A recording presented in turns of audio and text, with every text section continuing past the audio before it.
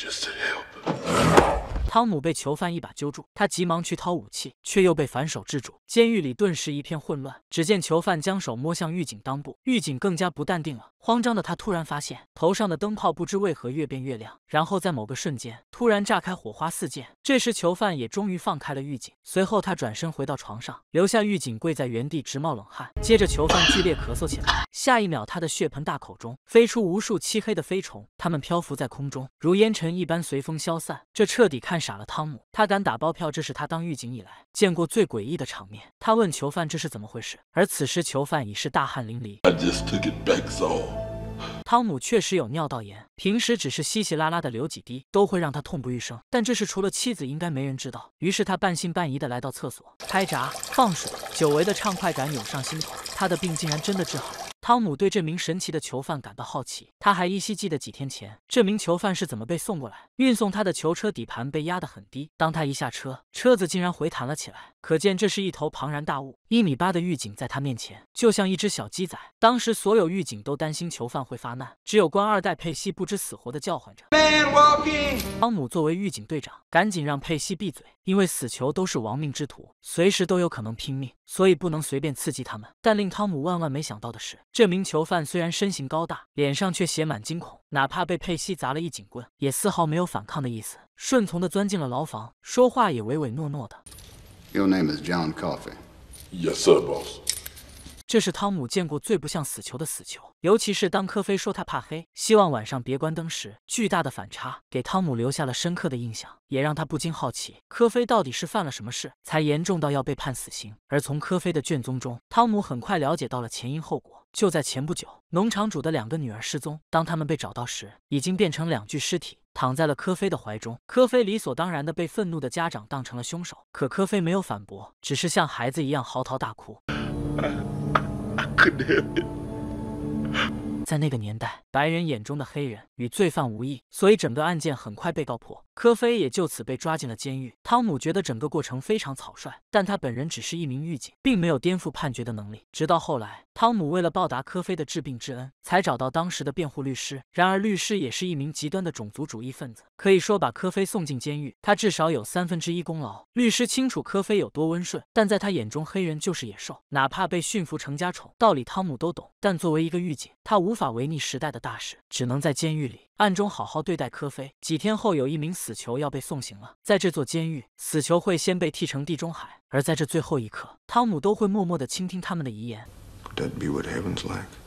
人之将死，其言也善。汤姆小心翼翼地附和着他的话，只为给他一个最后的安慰。离开牢房后，死囚在前往电椅的路上，还必须走过一条绿色的长廊。在他们的信仰中，绿色象征生命，而这短短一段距离也被称为绿里，是一条名副其实的死亡之路。在这之后，死囚的头顶会被放上一块沾水的海绵，这样可以让他死得不那么痛苦。准点一到，狱警发出号令，一切结束后，佩西又顶着丑恶的嘴脸羞辱死囚的尸体。其他同事看不惯，一把将他拉起教训一顿。Paid what he owed. He's square with the house again.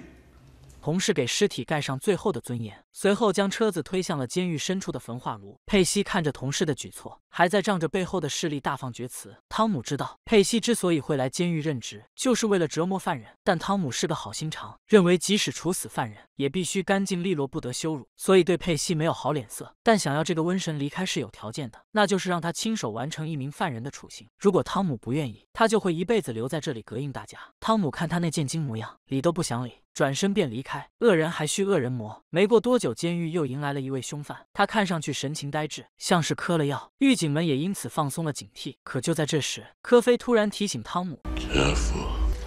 刚打开牢房的门，凶犯突然暴起，用手铐锁住了一名狱警的脖子。事情发生的太突然，监狱瞬间乱成一团。汤姆也被一脚踢中了裆部，丧失战斗力。手里尚存战力的佩西却被吓呆了，不敢上前制止。眼看人质要被勒死，还是狱警里最高大的那位及时赶到，从背后一棍将凶犯闷倒，这才解决了这场危机。Yeah, big fucker.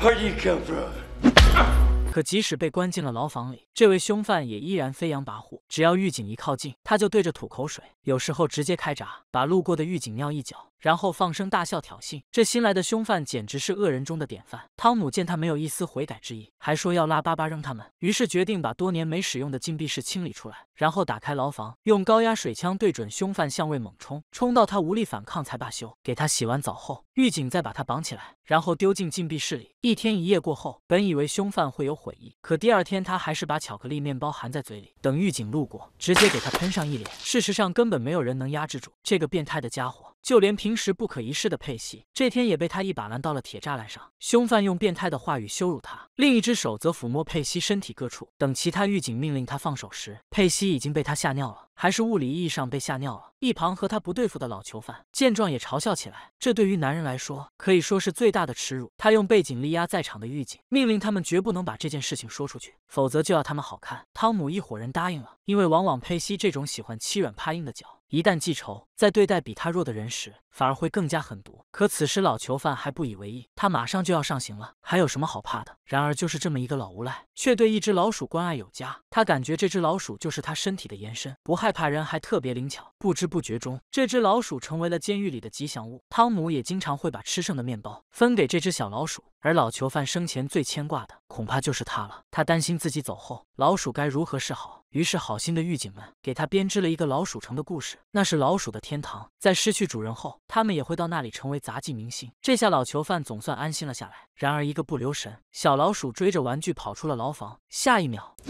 这就是佩西的报复。老囚犯像是被踩到命根子一样失声痛哭，可他不能离开牢房，连将老鼠捧回手心都做不到。显然佩西早有预谋，因为只是一只老鼠，汤姆等人也没法教训他，只能放他目中无人的离开。然而就在这时，科菲从牢房中伸出手来。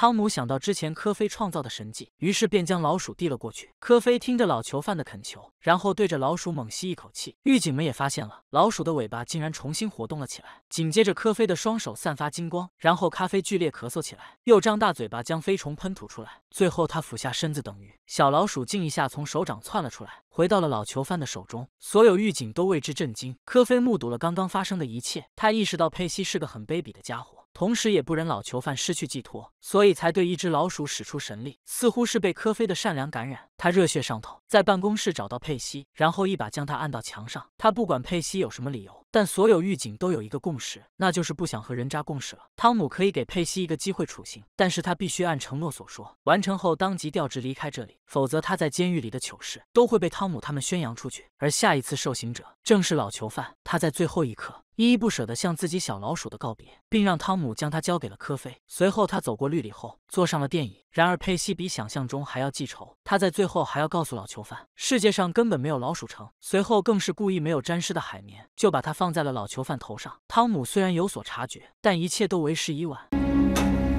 Roll on two。果然，老囚犯没能当场死亡，在电流的无尽折磨中，他的身体也冒出阵阵青烟，而电刑无法被终止，所以在场的观众都只能眼睁睁看着老囚犯被电流烤焦。与此同时，牢房里的科菲似乎也感同身受的颤抖起来，小老鼠也失去掌控，从牢房中离开，而老囚犯的刑罚还在继续，痛苦的惨叫声让这个房间变成了地狱。佩西这才意识到自己闯了怎样的祸事，狱警们将灭火器递到他的手中。You do it. 老囚犯头上的火焰被熄灭，他的灵魂也永远离开了人世。佩西还想狡辩，但大家哪能不知道是怎么样回事？一拳将他掀翻，但他们又能怎样呢？囚犯们本就是该死的人，只是地狱中还有其他恶魔，要让他们付出更多的代价。就连一直不管事的典狱长也为之震怒，把在场的狱警痛骂一通，同事和老板痛斥。这下佩西真的没有理由再留在这里了。而这天晚上，科菲哭了整整一夜。老囚犯所经受的痛苦，他似乎也感同身受。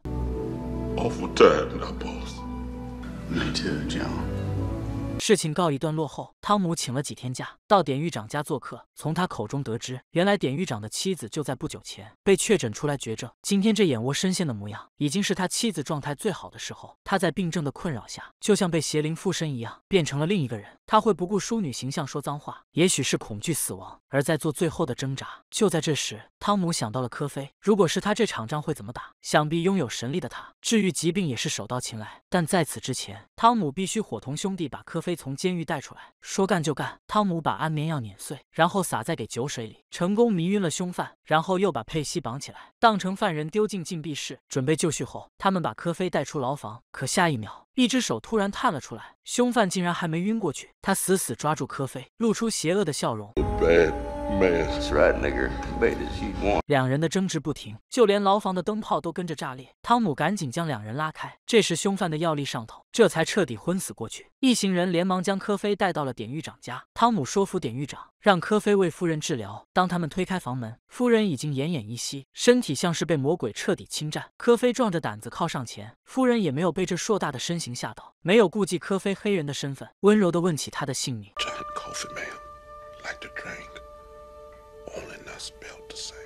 接着，只见科菲俯下身子，啃上了夫人，这把一旁的典狱长看得合不拢嘴。只见四周的灯变得光亮，夫人的嘴巴中也跟着升起一道金光，巨大的能量令时钟停摆，玻璃碎裂，就连房子也开始剧烈摇动。终于，最后一点光芒被科菲吸入口中，夫人的脸上也恢复了血色，而科菲忍着咳嗽，像是被病魔哽住了，没能将飞虫吐出来。而此时，夫人也失去了生病时的记忆。但即便如此，他再见到科菲时，仍有一种熟悉感觉，他们仿佛在梦境相遇过。那里是无边的黑暗，而科菲的身上散发着温暖的光芒。夫人将自己宝贝项链当做礼物送给科菲。一行人回到监狱，即使科菲享受到了自由的空气，还是乖乖回到牢房。而被关禁闭的佩西也终于被放了出来。他用阴翳的眼神注视着把他丢进去的狱警，心里暗暗想着如何复仇。然而就在他走到一边时，科菲突然抱起，掐着佩西的脖子将他举了起来，随后不顾阻挠，张开嘴巴，将无数飞虫吐到了佩西嘴巴里。正是夫人的疾病，而接受了这份诅咒的佩西，也像是变了个人一样。在路过凶犯的牢房时，面对凶犯的下流的挑衅，他突然拔出枪。等其他人反应过来，将佩西扑倒时，凶犯已经身中数枪倒地身亡。与此同时，佩西的嘴巴也开始冒出无数飞虫，随后在空气中化为飞灰。汤姆明白这是科菲的杰作，他走到牢房前，问科菲为什么要这样做。他的答案很简单，因为他俩都是很坏的人。接着他让汤姆伸出手，汤姆虽有顾忌，但还是握了上去。而就在这一瞬间，汤姆的大脑中出现了一段记忆，原来科菲还有一个超能力，那就是通过身体接触传递记忆。借此，汤姆也看到了凶犯生前的记忆。原来陷害科菲的人就是凶犯，是他利用了两姐妹的感情，将她们无情玩弄并杀害。当科菲想用超能力救他们时，已经为时已晚。汤姆明白了一切，来自两姐妹的绝望，来自科菲的悲痛，通通涌入心头。但是他也明白，就算科菲是被冤枉的，他一个小小狱卒，还是很难替他沉冤昭雪。在这之后，佩西被诊断为精神病，送进了精神病院，而科菲的死刑也提上了日程。汤姆问科菲还有什么愿望，只要科菲还想活下去，那他哪怕犯法也一定会尽全力把科菲救出来。但科菲只是渴求一顿丰盛的晚餐，以及希望最后汤姆能在处刑时为他祷告。汤姆沉默了。科菲已经见识了太多世间的丑恶，他行走人间多年，已经累了。他厌倦没有朋友的日子，他害怕没有方向的岁月。而现在，他是时候回归了。There's too much of it. It's like pieces of glass in my head. 在最后，他说出一个心愿，他想看一场电影，那是他从未踏足的。于是狱警为他拉起了幕布，看着画面中男女跳着轻盈的步伐，这是科菲见过最美场景。Why these angels? 行刑的日期到了，狱警们带着科菲踏过绿里，走进处刑室。小女孩的亲属也都在这里。科菲感受到他们的恨意，不敢再向前半步。在给科菲套上刑具时，最年轻的狱警眼睛已经红了，他很想哭，但他不能。汤姆做出最后的宣判，处以电刑。他问科菲有什么遗愿，I'm sorry for what I am. 而在给科菲套上头套时，科菲却突然请求。Please, 汤姆还记得，这和刚进监狱时说的一样。他亲手给科菲放上沾水海绵，宣读完祷告后，他最后一次和科菲握手，一如最初。这是汤姆最后一次参与行刑。不久后，他就申请调职离开了监狱，成为了清管所的教练。防患于未然是他的座右铭。时间荏苒，汤姆已经变成了头发花白的老人。他似乎忘记了当年的一切，直到他再次看到科菲生前最后看的电影时，记忆才随之苏醒。他。把故事分享给老人院的院友，但院友却有一个疑惑：时间对不上。照这么一算，汤姆似乎活得太长了。汤姆只好把他带到深山的一座木屋里。一只老鼠从盒子里醒了过来，汤姆拿起一个木滚轮，老鼠颇有灵性的靠了上来。他就是老囚犯的那只小老鼠。汤姆和他一样，都被科菲分享了神力，也因此获得了更长的寿命。而今汤姆已经送走了无数的亲朋好友，这既是科菲给他的祝福，也是上天给他的诅咒，因为是他处决了神迹，而汤姆也愿意独自承受这一切，并相信着终有一天绿里也会出现在他的脚下。影片至此结束，精彩的电影值得大家看原片。影片《绿里奇迹》，生命中有终点，或早或晚。每个人的一生其实就是走在绿里上，最终坐上电影，反省过去的犯下的错。虽然无法避免，但是却可以勇敢面对。只要不做亏心事，那人生的终点也就不可怕。